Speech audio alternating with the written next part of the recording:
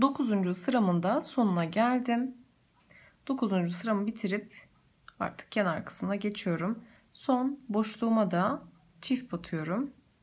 Diğer sıralarımda olduğu gibi. Çift battıktan sonra aynı arka tek kanada alıyorum. İlk başladığımız ikili trabzanın ve üçüncü zincirimin de ortasından tığımla batıp bu noktadan ilmek çıkarıp çıkardığım ilmeği diğer ilmeğimin arasından kaydırarak geçiriyorum. Bu noktada hafif ipimi esnetiyorum. İlk başladığım ikili trabzana tığımın başına ipimi dolamıyorum. Direkt batıyorum ilk boşluğuma, ilk ikili trabzanımın tepesine. Bu noktadan ilmek çıkarıyorum. Tığımın başına dolayıp ikisinin arasından geçirip sık iğne yapıyorum. Tekrar bir sonraki boşluğa batıyorum. Tığımla direkt. ilmek çıkarıp sık iğne yapıyorum. Bir sonraki boşluğa da batıyorum. İlmek çıkarıp sık iğne yapıyorum. 3 tane sık iğne oldu. Bunu 5'e tamamlıyorum. 4 batıyorum. 5. 5 tane sık iğne yaptık hemen. 5 tane sık iğneden sonra 6 tane zincir çekiyorum. 1 2 3 4 5 6. 6 tane zinciri çektikten sonra 1 2 3 4 5. boşluğuma batıyorum. Direkt batıyorum, ilmek çıkarıp sık iğne yapıyorum. Zincirimi sık iğne ile tutturdum. Şimdi tekrar 5 tane sık iğne yapıyorum. Bunu 1 sayıyorum. 1 diğerine 2 boşluklarıma batarak 2 3 boşluğuma batıyorum. Direkt sık iğne yapıyorum. 4 bakın bu da 5.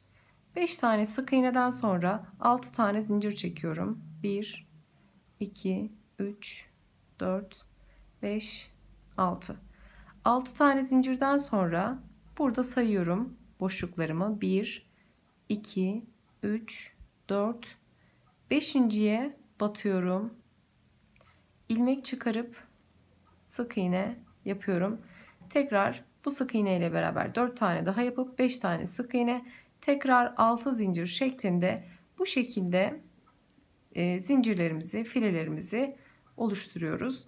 Ve aralarda 5 tane sık iğne, 6 zincir ve 5.ye batarak sabitliyoruz. Bu şekilde ilk sıramızı tamamlıyoruz. Ee, başlangıç noktasına gelip nasıl birleştirdiğimizi ve bir üst sıraya nasıl geçtiğimizi hemen tarif edeceğim. Sıramın sonuna geldim. 5 tane sık iğnemi yaptım. 5 tane sık iğneden sonra 6 tane zincir çekiyorum. 1, 2, 3, 4, 5, 6. Burada 1, 2, 3, 4 tane altta boşluk kalıyor bu noktada. Hemen dördüncü boşlukta birleştirdiğimiz nokta. Bakın şu zincirin olduğu noktada ilk başladığımız sık iğnenin tepe noktasına batıyorum burada. İlk başladığım sık iğnenin tepe noktasına battım. ilmek çıkardım. Çıkardığım ilmeği diğer ilmeğimin arasından kaydırarak geçirdim. Ve burada sıramı tamamlamış oldum. Altta da 4 tane boşluğumuz kalmış oluyor. Şimdi bu noktada ip, ipimi hafif esnetiyorum.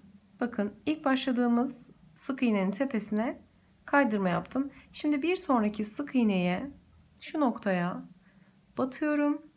Direkt sık iğne yapıyorum. Bir tane sık iğne yaptık. Şimdi diğer boşluğuma batıyorum. İkinci sık iğnemi yaptım. Bir sonraki boşluğa batıyorum. Diğer sık iğnemi yaptım. Toplamda burada 3 tane sık iğne olmuş oldu. Diğer e, bu sonuncu sık iğnenin tepe noktasına batmayacağız. Tığımın başına ipimi doluyorum. Çektiğim zincirin boşluğa batıyorum. Buradaki file boşluğuma ve ikili trabzan örüyorum. İkisini birlikte, ikisini birlikte çekiyorum. Tığımın başına doluyorum, boşluğuma batıyorum. İkisini birlikte, ikisini birlikte çekerek Toplamda 8 tane ikili trabzan öreceğim. 2 hızlı bir şekilde örelim birlikte. 3 4 5 6 7 ve 8 bakın bu şekilde 2 4 6 8 tane ikili trabzanımı zincirimin içerisine doldurdum.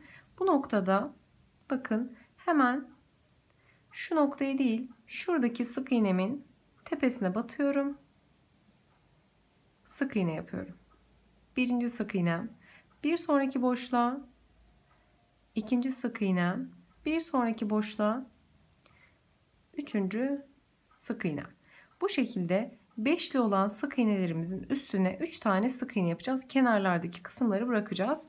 Şimdi 3 tane sık iğneden sonra tığımın başına doluyorum ipimi. Zincirimin olduğu noktaya boşluğa batıyorum. İkili trabzan örüyorum direkt. Yine 8 tane ikili trabzan dolduruyorum. 3 4 5 6 7 ve 8. Emin olmak için sayalım. 2 4 6 8. 8 tane ikili trabzandan sonra bakın hemen ilk başladığım e, başlangıçta duran sık iğnenin tepesine değil ikinci sık iğnenin tepe noktasına batıyoruz. Buradan ilmek çıkarıp sık iğne ile tutturuyorum.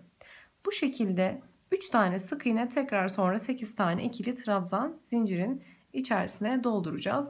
Bu şekilde kenar kısmımızın e, bu sırasında bu şekilde tamamlayacağız. Tekrar birleştirme noktasında bitiş noktasında sizlere geçişi tarif edip bir üst sıraya geçeceğiz. Sıramın sonuna geldim. Bakın son zincirime de 7 tane doldurdum. Şimdi 8 zinciri dolduracağım ikili trabzanla. 8. ikili trabzanımı da dolduruyorum. 8. ikili trabzanımı doldurduktan sonra bakın burası birleştirme noktam. İlk başladığım sık iğnenin tepe noktasına batıyorum. Bakın bu noktadan tepe noktasına batıyorum. İlmek çıkarıp çıkardığım ilmeği diğer ilmeğimin arasından kaydırarak geçiriyorum. Kaydırma yaptıktan sonra bir sonraki e, sık iğnemin tepe boşluğuna batıyorum. Bir sonraki boşluğa batıyorum. İlmek çıkarıp direkt sık iğne örüyorum. Sık iğnemi ördükten sonra tığımın başına ipimi doluyorum. İlk başladığım ikili trabzanın tepe noktasına bakın bir tane boşluk bırakıp bir sonraki boşluğa batıyorum. İlmek çıkarıp ikili trabzan örüyorum. İkisini birlikte, ikisini birlikte. İkili trabzanımı ördükten sonra 3 tane zincir çekiyorum. 1 2 3 3 tane zincirimi çektikten sonra bakın ilk çektiğim zincirin arkada bir noktası var. Buraya batıyorum.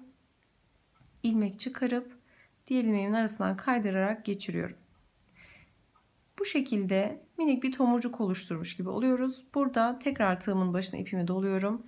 Bir sonraki boşluğuma batıyorum. ilmek çıkarıp ikisini birlikte ikisini birlikte örüyorum ve ikili trabzanımı oluşturuyorum.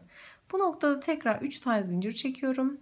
1 2 3 3 tane zincir çektikten sonra şu noktaya bakın batıyorum.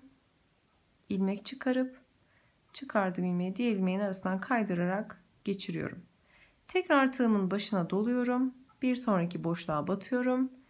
İkisini birlikte ikisini birlikte çekerek ikili trabzan oluşturuyorum. Bu şekilde kirpikler oluşturuyoruz. 1 2 3 tane zincir çekiyorum. Arka noktaya ilk başladığım zincirin arka noktasına batıp ilmek çıkarıp diğer ilmeğimin arasından kaydırarak geçiriyorum. Minik bir tomurcuk gibi oluyor burası. Tekrar başına doluyorum tığımın. Bir sonraki boşluğa batıp ikili trabzan örüyorum. Tekrar 3 zincir 1 2 3 arka noktadaki kısma batıp ilmek çıkarıp diğer ilmeğimin arasından kaydırarak geçiriyorum. Tığımın başına ipimi doluyorum. Bir sonraki boşluğa batıp ikili trabzan örerek yukarı çıkıyorum. Tekrar ikili trabzandan sonra 3 zincir 1 2 3 ilk başladığım zincirin arka noktasına batıp ilmek çıkarıp çıkardığım ilmeği diğer ilmekten kaydırıyorum. Tekrar tığımın başına doluyorum. Bir sonraki boşluğa batıp ikili trabzan örüyorum. 3 zincir tekrardan 2 3 bu şekilde tığımın başına doluyorum. Son ikili trabzana kadar toplamda 2 4 6 7 tane kirpiğimiz olacak. 1 2 3 zincir çekiyorum. arka noktasına batıyorum. ilmek çıkarıp diğer ilmeğimden kaydırıyorum. Tığımın başına doluyorum. Bakın bu da 7. kirpiğimiz oluyor. Tığımın başına doladım tığımı ve son ikili trabzanımın tepe noktasına batıp ikili trabzanla bitirdim. 7 tane bu şekilde kirpiğimiz oluyor. Şimdi ikili trabzanımızı ördükten sonra bakın gelen ilk boşluğa değil ikinci boşluğa yani ikinci sık iğnemizin tepe noktasına batıp ilmek çıkarıp direkt sık iğne örüyoruz. Şu köşeye baktığımız zaman 5 3 1 böyle bir üçgen oluşuyor. Sık iğneden sonra bir tane sık iğne ördükten sonra tığımın başına doluyorum. Bir tane boşluk bırakıp bir sonraki boşluğa yani ilk başladığımız ikili trabzanın tepe noktasına batıyorum ve ikili trabzan örüyorum. İkili trabzandan sonra 3 tane zincir 1 2 3 3 zincirden sonra ilk başladığım zincirin arka kısmına batıp ilmek çıkarıp diğer ilmeğin arasından kaydırarak geçiriyorum. Tekrar tığımın başına dolayıp bir sonraki boşluğa batıyorum ve ikili trabzan örerek tekrar 3 zincir ve tomurcuk yapacağız. Her e, kenarımızda böyle her e, ikili trabzanlarımın 8 ikili trabzanlarımın üzerine 7 tane kirpik gelecek şekilde öreceğiz ikili trabzanlarımızı. 3 tane sık iğnemizin olan kısmı da bir tane sık iğne şeklinde öreceğiz. Ve bu şekilde şu kısmı gösterdiğim gibi e, bu kısmı diğer bütün noktalarıma uygulayacağım. E, ve son noktaya geldiğimde burada ipimi nasıl kestiğimi ve suplamızı nasıl bitirdiğimizi hemen tarif edeceğim. Artık son noktama geldim. Son kirpiklerimi dolduruyorum. 3 tane zincir çekiyorum. Arka noktalarını batıp ilk başladığım zincirin kaydırma yaparak ikili trabzanla tutturuyorum. Bu işlemi toplamda 7 tane kirpik olana kadar yapıyorum. Artık bitireceğim. Bakalım. 2, 4, 6 sonuncu kirpiğim. 1, 2, 3. Bu noktada artık ikili trabzanda tutturuyorum. İkili trabzandan sonra direkt ilk başladığım bir tane sık iğne vardı burada. Bakın ilk başladığım sık iğnenin tepe noktasına batıp buradan kaydırma yapıyorum. Kaydırma yaptıktan sonra burada ipimi bir 5-10 santim kadar kesiyorum. Arkaya gizleyecek kadar. Kaydırma yaptıktan sonra ipimi bu noktadan çıkartıyorum. Çıkardıktan sonra bakın ipimi şu noktadan kaydırma yaptığım sık iğnenin solunda kalan boşluğa batıp buradan ipimi ters noktaya kadar e, çevir geçiriyorum bu tarafa ve kaydırma yaptığım noktadan tekrar batıp şu noktada içeri doğru gizliyorum ve ipimi sıkılıyorum bu noktada.